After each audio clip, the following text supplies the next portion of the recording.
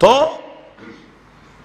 ما اہل بھی لغیر اللہ اس پر سب فقہا نے مسئلہ لکھا، البار الرائق میں اور مجمع الانہر میں سب فقہا نے لکھا کہ جو آدمی فتاوہ شامی میں بھی ہے، کہ جو آدمی کسی بزرگ کی قبر پہ جاتا ہے اور یہ منت مانتا ہے کہ میں اس قبر پر جو دیا ہے یا موم بتی ہے، اس کو جلاؤں گا یا اچھاڑ قبر پہ کپڑا ڈالوں گا، اس پہ چادر چڑھاؤں گا یا تیل دوں گا، زیت، تیل وہاں پر دوں گا یا اور کوئی چیز دوں گا۔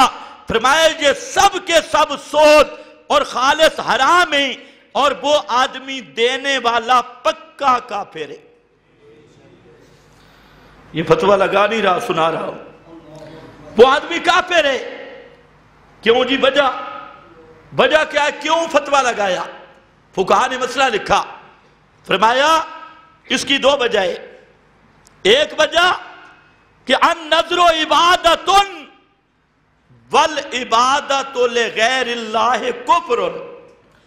نظر اور منت ماننا یہ عبادت ہے اور اللہ کے سوا کسی پیر، فقیر کی عبادت کرنا کفر ہے، جس نے غیر کے نام کی نظر مانی، اس نے اس ولی پیر فقیر کو معبود والا معاملہ کیا ہے، اس کے ساتھ، اس لیے وہ کافر ہے۔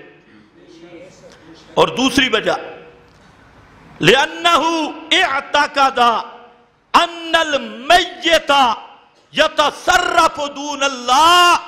دوسرا، اس نے یہ عقیدہ رکھا کہ مردہ تصرف کرتا ہے، یہ یا تو ہماری سفارش کر کے ہمارے کام کروا دے گا یا خود کام کر دے گا، یا تصرف ہو دون اللہ اللہ کے سوا یہ قبر والا بزرگ یہ بھی کچھ کر سکتا ہے اور میری بگڑی بنا سکتا ہے۔ فرماتے ہیں بزال کا کفرن یہ خالص کفر ہے، اللہ کے سوا کوئی متصرف نہیں۔ اس لیے اللہ کے سوا کوئی منت منوتی نظر نیاز کے لائق نہیں۔ تو سورت الحج کا ایک مضمون تجھے ہے کہ اللہ کے سوا کسے کی نام کی نظر نہیں، منت نہیں، تحریمیں نہیں، منت منوتی بھی صرف رب کے نام کی، تحریمیں بھی صرف رب کے نام کی، کسی غیر کے لیے یہ دو کام نہیں کرنے۔ اور فرمایا اس لیے وجہ یہ ہے ذکر کیا کہ اس کائنات کا بادشاہ متصرف اور مشکل کشا حاجت روا، وہ صرف اللہ ہے، اللہ کے سوا اور کوئی نہیں۔ اس پر آخر میں جا کے قرآن پاک کی ایک آیت سنو، پھر انشاءاللہ آپ کو مدینے لے جاتا ہوں۔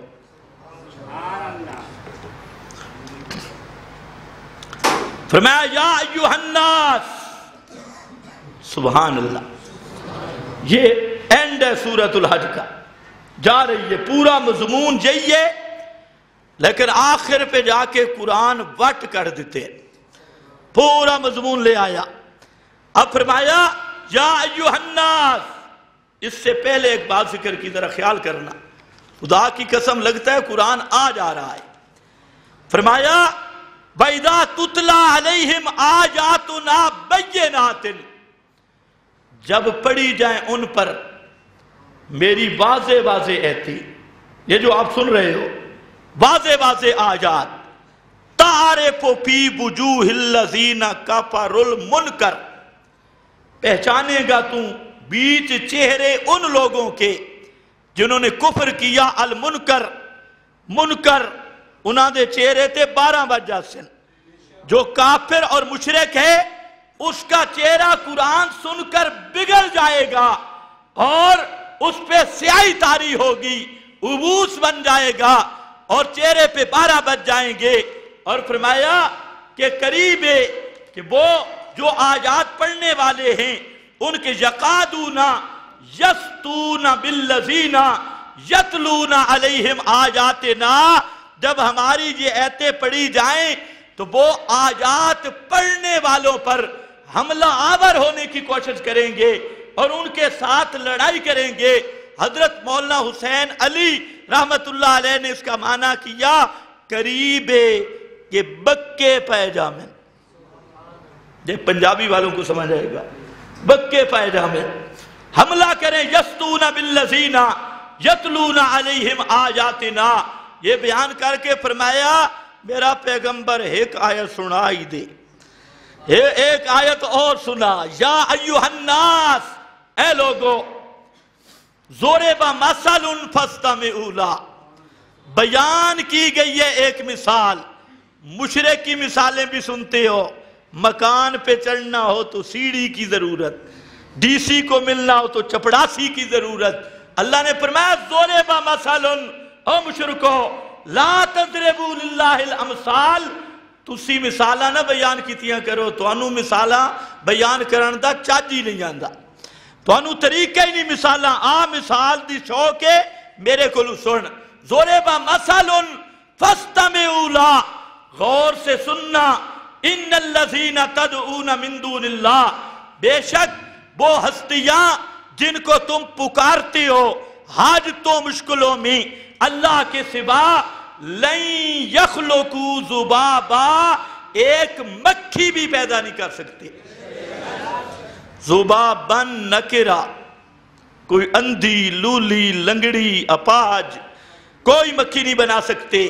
وَإِن يَسْلُبُهُمُ الزُّبَابُ شَيَّا اور اگر مکھی ان سے کوئی چیز چھین کے لے جائے، یا خود بھی نہیں، یا خود کا معنی ہوتا ہے آرام سے لے جائے۔